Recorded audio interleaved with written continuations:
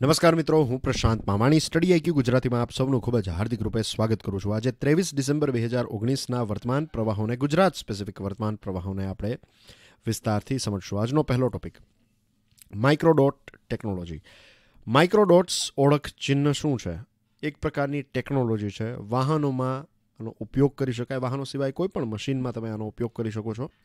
હવે સરકારે વાહનોની સુરક્ષા માટે મોટર વાહન અને તેના પાર્ટ્સ પર માઇક્રોડોટ્સ ઓળખ ચિહ્ન લગાવવા માટેના નિયમો માટે અધિસૂચના બહાર પાડી છે. તમારી સ્ક્રીન ઉપર માઇક્રોડોટ ટેકનોલોજીનો એક એક્ઝામ્પલ છે. ખૂબ જ નાનો એવો ડોટ હોય છે. આ ડોટની અંદર તમે ખાસ ઇન્ફોર્મેશન સ્ટોર કરીને એક યુનિક આઈડી જનરેટ કરી શકો છો. તો આપણી, ફોર એક્ઝામ્પલ, કોઈ ફોર વ્હીલર હોય, ટુ વ્હીલર હોય એની ઉપર જે આપણે પેઇન્ટ લગાડીએ, એવી જ રીતના આ જે પેઇન્ટ હોય એમાં આ માઇક્રોડોટને એડ કરવામાં આવશે, પછી બોડી ઉપર એને સ્પ્રે કરવામાં આવશે. અને માઇક્રોડોટ ટેકનોલોજીથી આપણા જે વાહનો છે, એને આપણે એક યુનિક આઈડી આપી શકશું. માઇક્રોડોટથી જે ચોરી છે ચોરી રોકા, રોકાશે ચોરીની સાથે સાથે બીજો જે ફાયદો છે એ છે કે જે બનાવટી સ્પેર પાર્ટ ડુપ્લિકેટ સ્પેર પાર્ટની જે માર્કેટ છે આના હિસાબે ઓરિજિનલ સ્પેર પાર્ટ મેકર્સને ખૂબ જ વધારે નુકસાન થતું હોય છે. સેકન્ડ વસ્તુ ડુપ્લિકેટ સ્પેર પાર્ટની માર્કેટ બ્લેક માર્કેટ છે. તો આનાથી સરકારને પણ કોઈ પણ જાતનું રેવન્યુ નથી મળતું. આ બધી વસ્તુ માઇક્રોડોટ ટેકનોલોજીના હિસાબે આપણે અટકાવી શકશું. સેકન્ડ ટોપિક ઉપર વાત કરીએ પહેલાં, અમારા પેનડ્રાઈવ અને ટેબ્લેટ કોર્સીસ વિશે તમને માહિતી આપવા માગું છું કે ગુજરાતની અલગ અલગ સ્પર્ધાત્મક પરીક્ષામાં તમારી અમારા પેનડ્રાઈવ અને ટેબ્લેટ કોર્સીસ ખૂબ જ મદદ કરી શકશે. અને બધી માહિતી તમને અમારી વેબસાઇટ ઉપર મળી જશે. મનમાં કોઈ પ્રશ્નો હોય તો તમે અમને આ નંબર ઉપર કોલ પણ કરી શકો છો. ગીતા ગોપીનાથ ગીતા ગોપીનાથ આઈએમએફ એટલે કે આંતરરાષ્ટ્રીય મુદ્રા કોષ ઇન્ટરનેશનલ મોનિટરી ફંડ જે છે, એના નિર્દેશક અને આર્થિક સલાહકાર છે.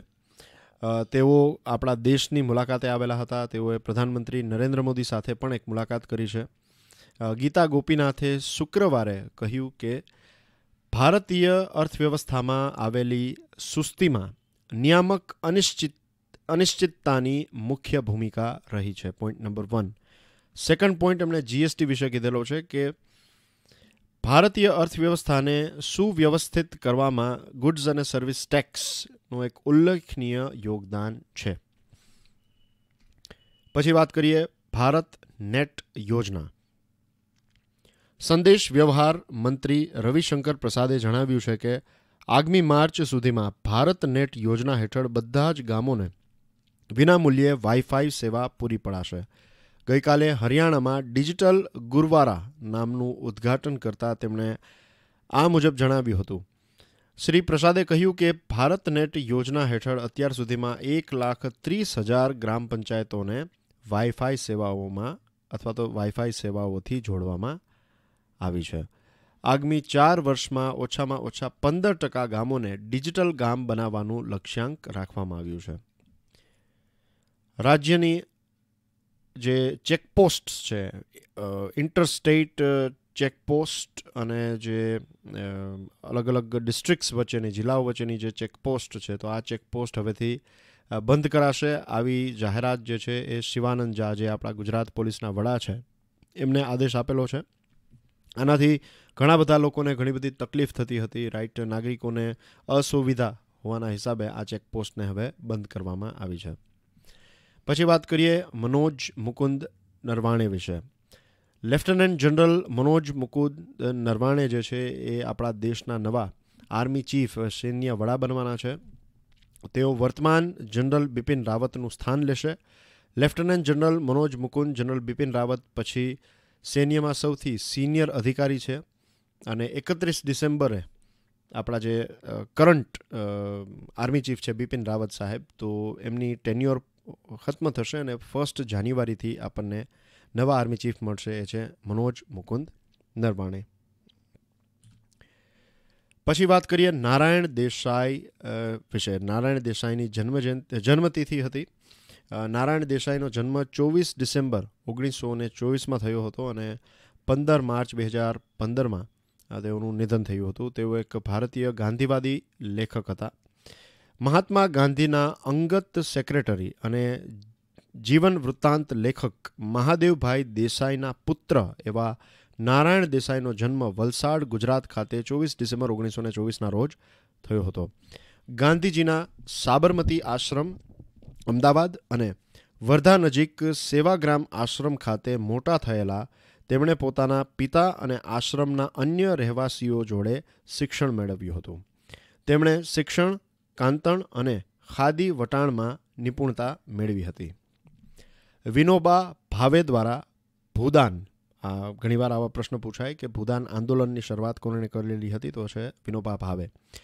વિનોબા ભાવે જ્યારે ભૂદાન આંદોલનની શરૂઆત કરી ત્યાર પછી તેમણે આજે આપણા નારાયણભાઈ દેસાઈ છે, એમણે ગુજરાતમાં પગપાળા પ્રવાસ કરીને અમીરો પાસેથી જમીન લઈને ગરીબી ગરીબ જમીન ગરીબ જે ખેડૂતો છે, એમના એમને જમીન વેચવાનું કામ જે છે એ પણ કરેલું હતું. તેમણે ભૂદાન આંદોલનનું મુખપત્ર, ભૂમિપુત્ર શરૂ કર્યું અને ઓગણીસો ને ઓગણસાઠ સુધી તેના તંત્રી પણ તેઓ રહ્યા હતા.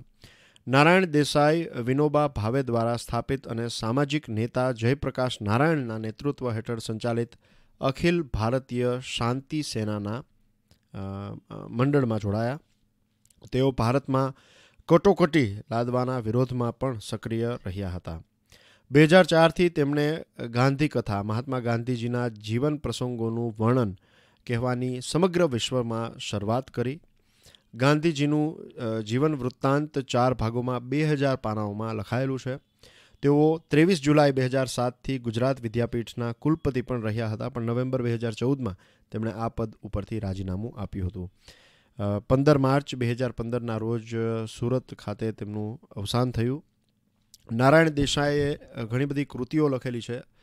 પાવન પ્રસંગો, nineteen fifty two, Jayaprakash Narayan, nineteen eighty એમની ચરિત્ર ચરિત્રાત્મક પુસ્તકો છે પછી ગાંધી ક્યાં હશે? ભારતમાં ગીત સંવાદો લખાયેલી કટાક્ષિકા છે।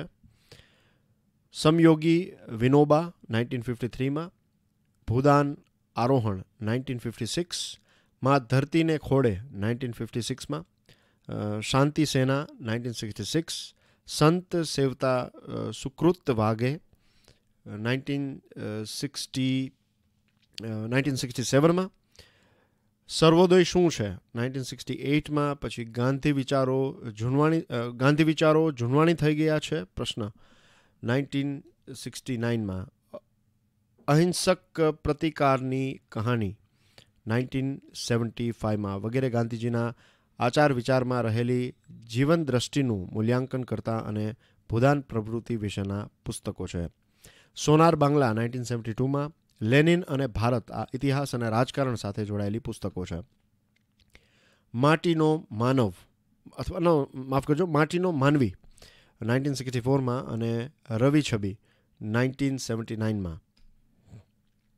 પુરસ્કારો વિશે વાત કરીએ તો નાઇન્ટીન એટી નાઇનમાં તેમને એક પુસ્તક છે અગ્નિકુંડમાં ઉગેલું ગુલાબ. એના માટે એમને નર્મદ સુવર્ણ ચંદ્રક એનાયત કરવામાં આવ્યો હતો. નાઇન્ટીન નાઇન્ટી એઇટમાં અસહિષ્ણુતા અને અહિંસાનો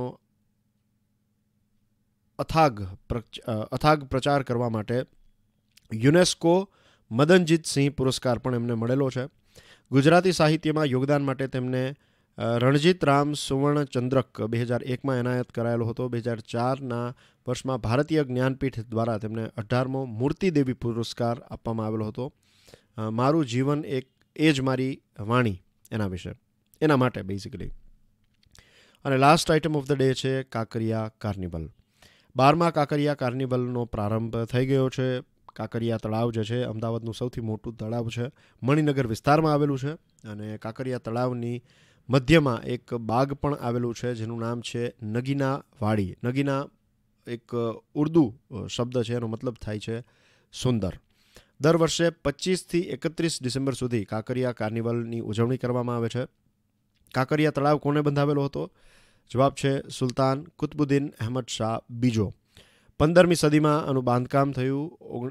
ચૌદસો ને એકાવનમાં આનું કામ જે છે એ પૂર્ણ થયું અને તે સમયે એને કુતુબ હોજ અથવા તો હોજે કુતુબ તરીકે ઓળખાતો હતો. લેક્ચરની પીડીએફ તમને મારા એફબી પેજ ઉપરથી મળી જશે. Thank you very much for watching this video જય હિન્દ